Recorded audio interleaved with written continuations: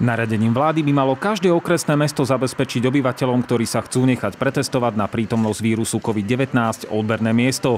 Preto Slovenský Červený kríž územný spolok Žilina spustil od 16.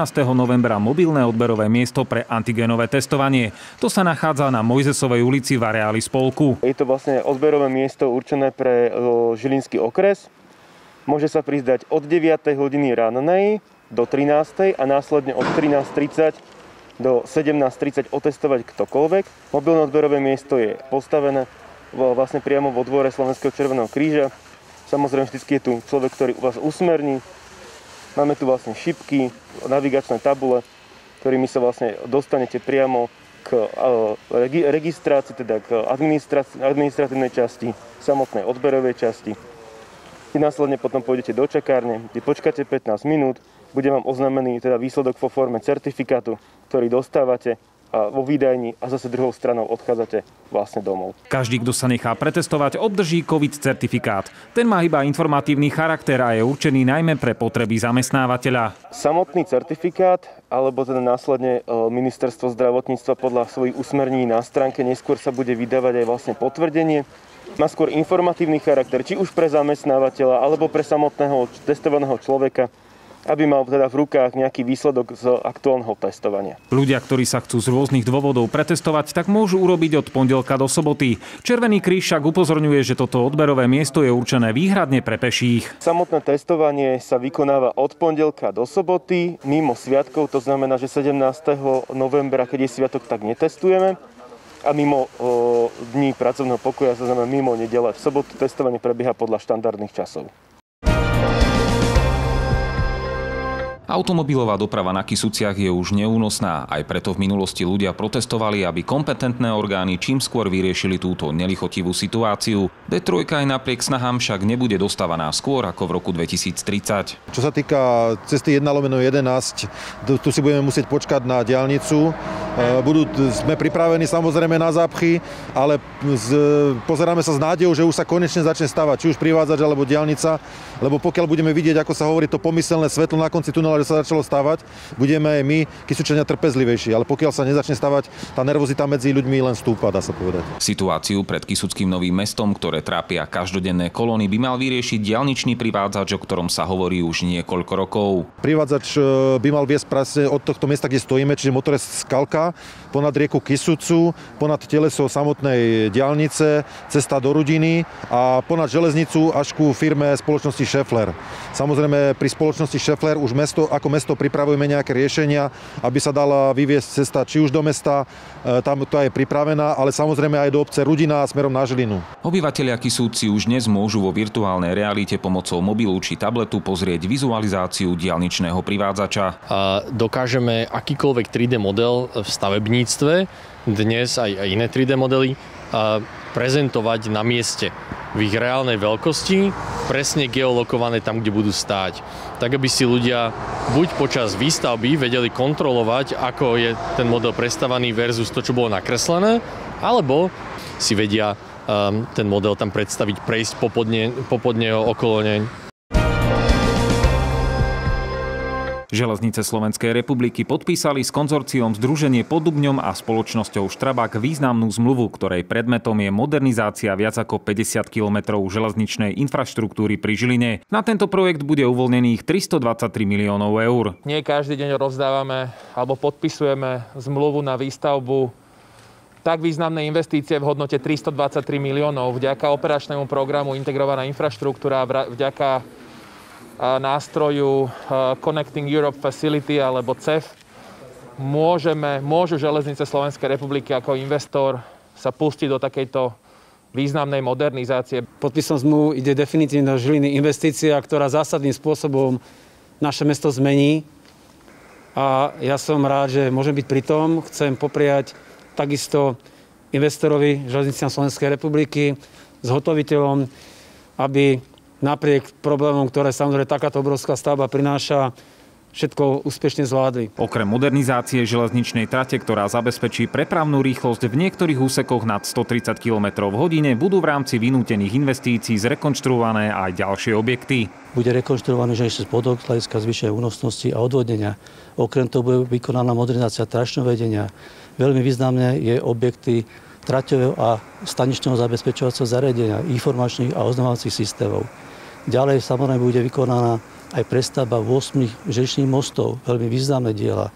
Ale bude samozrejme, samozrejme zlepšené aj z hľadiska kultúry cestovania vybudovanie 5 nových ostrovných nástupiš a 5 krajných nástupiš v dopravniach, ktoré sú v rámci tejto stavby realizované. Modernizácia železničnej trate je rozdelená na niekoľko etáp. Prvá z nich je naplánovaná na začiatok marca budúceho roka v úseku Varína Strečno.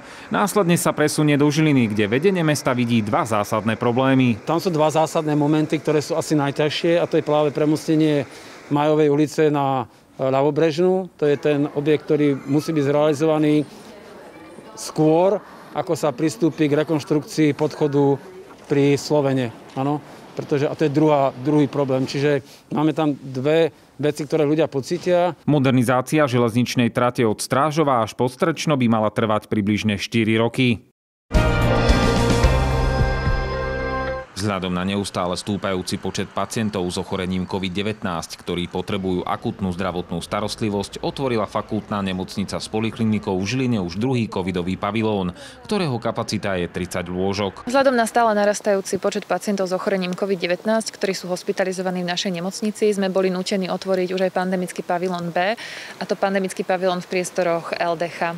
Aktuálne teda máme otvorené dva pandemické pavilóny. Je to pandemický pavilón A v priestoroch urológie a pandemický pavilón B v priestoroch LDH, ktoré spolu poskytujú 77 plus 30 lôžok pavilóne B v LDH vieme potom následne reprofilizovať ešte ďalších 60 lôžok. Aktuálne je vo fakultnej nemocnici s poliklinikou v Žiline hospitalizovaných 75 pacientov s ochorením COVID-19, pričom 7 z nich je napojených na umelú plúcnu ventiláciu. V snahe zamedziť šíreniu tohto ochorenia v priestoroch nemocnice pokračujú aj naďalej veľmi prísne opatrenia, ktoré by pacienti mali dodržiavať. Štandardne pokračujeme v prijatých opatreniach, to znamená, že na vstupoch do nemocnice prebieha základná kontrola a triáž, čiže meranie teploty teploty a usmernenie pacientov príslušníkmi armády a našimi pracovníkmi.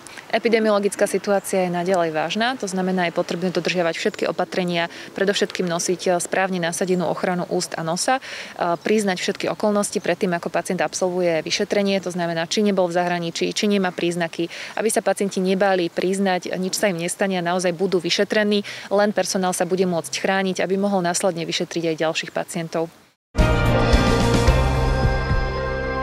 Mesto Žilina je na zimnú údržbu ciest a chodníkov pripravená. V zmysle operačného plánu ju zabezpečuje od 1. novembra do 31. marca, a to v závislosti od poveternostných podmienok, pričom sú mechanizmami odhrňané cesty v celkovej dĺžke viac ako 255 km a približne 160 km chodníkov. Dnes už sme v situácii, kedy sme pripravili sa na zimnú údržbu, či už finančne, bavíme sa o zhruba 700 tisíc eur, ktoré sú pripravené v rozpočte mesta, plus niečo naviac, ak by bola ťažká zima a veľmi náročná. Dnes našim partnerom stále zmluvným je, sú žilinské komunikácie, ktoré potom v subdodávkach riešia zimnú držbu chodníkov a ciest. E, máme pripravený, máme spracovaný so Žilinskou univerzitou odkomunikovaný plán zimnej údržby. Takže toto všetko už dnes e, je pripravené, žilinské komunikácie sú pripravené strojovo, mechanizmami, e, posypom a tak ďalej. Po minulé roky bolo zimné obdobie teplotne nadpriemerné. Aj vďaka tomu mesto ušetrilo na posypovom materiáli nemalé finančné prostriedky. To všetko sa však môže zmeniť príchodom tuhšej zimy, ktorú meteorológovia predpovedajú. Musím ale povedať úplne ľudsky a normálne, že ak príde ťažká náročná zima, kde sa bude kombinovať množstvo snehu s odmiekom a s ľadom, tak jednoducho to mesto bude konfrontované s tým, čo takáto mimoriadná situácia prináša za mňa len, alebo za mesto len. Urobíme všetko preto, aby sme to dobre zvládli aby tých problémov bolo čo najmenej. Práce na zimnej údržbe budú môcť obyvateľia Žiliny podobne ako v minulom roku sledovať online na internetovej stránke mesta, kde bude zverejnený aj operačný program. V sekcii zimná údržba miestnych komunikácií pribudne denne aktualizovaný priebeh prác spolu s kontaktnými údajmi na dispečersko-spravodajskú službu.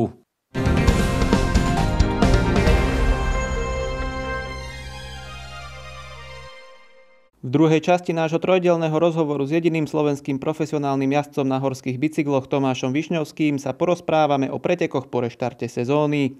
Višňovský vstúpil do pretekov v top forme, otázko bolo, ako je na tom konkurencia. Som nevedel, ako sú na tom ostatní, pretože tým, že sa vôbec nepretekalo, tak tú konkurenciu som mohol viac menej sledovať len v nejakých aplikáciách, kde vlastne zadávajú svoje tréningy a navzájom si to môžeme, môžeme pozerať.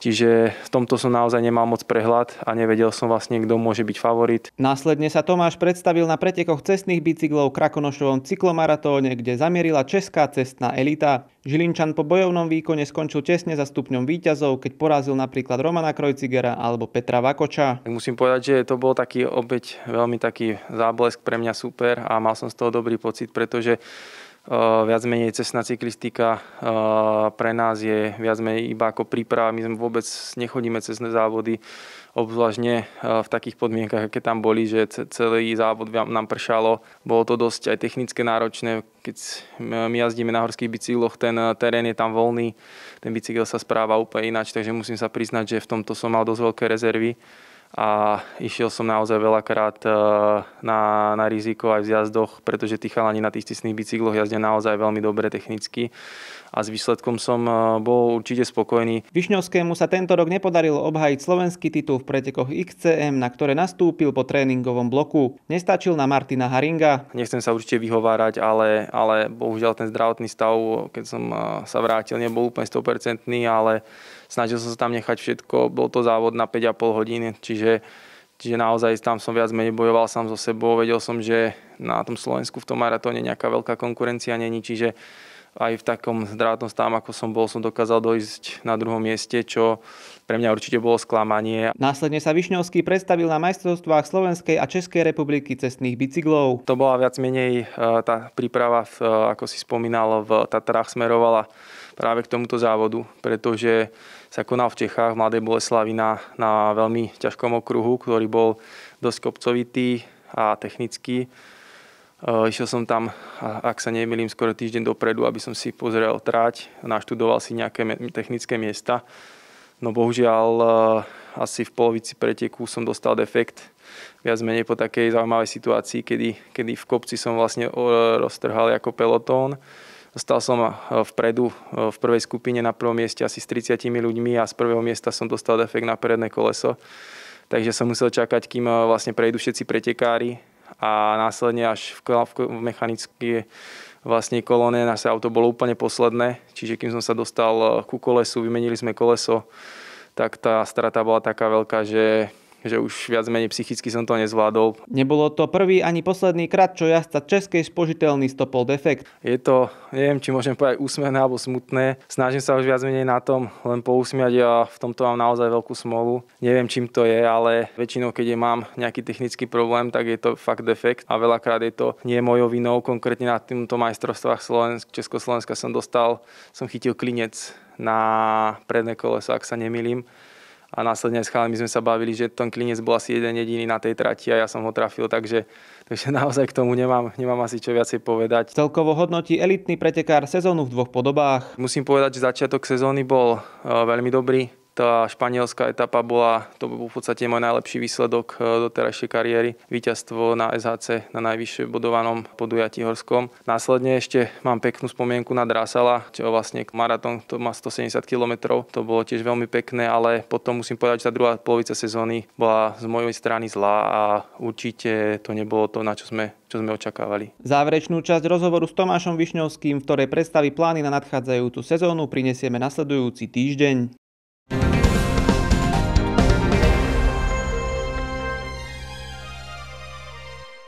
Aj dianie v hokejovej univerzitnej lige je na určitý čas pozastavené. Predstaviteľom HC Uniza neostáva nič iné, len nariadenia akceptovať. My to rešpektujeme, toto rozhodnutie. Bohužiaľ e, sa to dotklo aj nás. E, nemôžeme momentálne ani trénovať, ani hrať zápasy. Chalani to tiež vnímajú trošku negatívnejšie, ale, ale dúfame, stále veríme v to, že sa čo najskôr vrátime na lád a, a udržíme si tú formu, akú sme mali a znova vybehneme a budeme sa baviť tým hokejom. Aj univerzitnému klubu skomplikovala pandémia fungovanie z pohľadu jeho financovania. My ako klub sme e, financovaní z rôznych e, projektov, dotácií či e, sponzoringu a každý takýto projekt alebo takáto sponzoringová zmluva je určitým spôsobom časovo limitovaná takže do určitého datumu musíme, musíme splniť nejaké podmienky, ktoré sú v tejto zmluve alebo sú v podmienkach toho projektu. Takže väčšina z týchto podmienok sa vzťahuje na zápasový proces a keďže nemôžeme odohrať žiadne zápasy, tak nemôžeme splniť ani tým pádom tieto podmienky v tých projektoch. Pri viacerých projektoch museli v HC Uniza žiadať o opätovný odklad, pretože niektoré museli odsunúť už v prvej vlne. Niektoré projekty, ktoré sme už vypisovali minulý rok, sme už raz odkladali kvôli prvej vlne a tých opatreniach, ktoré tam boli a momentálne sa budeme snažiť a spravíme všetko preto, aby sme si to odkomunikovali komunikovali s inštitúciami, ktoré nám poskytujú pr- projekty a aby nám ten odklad opäť povolili, pretože tie projekty máme len do konca decembra. Pokračovanie univerzitnej súťaže je momentálne v nedohľadne. V súťaži navyše figurujú aj celky z Českej republiky. Samozrejme, toto bude náročnejšie. Sú tam celky zo zahraničia, ako ste povedali, a dúfame, že, že sa to, táto situácia v cel, na celom svete a vo všetkých krajinách, ktoré sú hlavne účastníci tých, tejto súťaže zlepší a aby sme mohli odohrať aj tieto medzinárodné zápasy. Ako je naša interná dohoda s EUHA, s tou asociáciou, prvé tie zápasy budeme môcť odohrať iba so slovenskými týmami a potom následne, keď sa tá situácia zlepší, odohráme zápasy aj so zahraničnými týmami.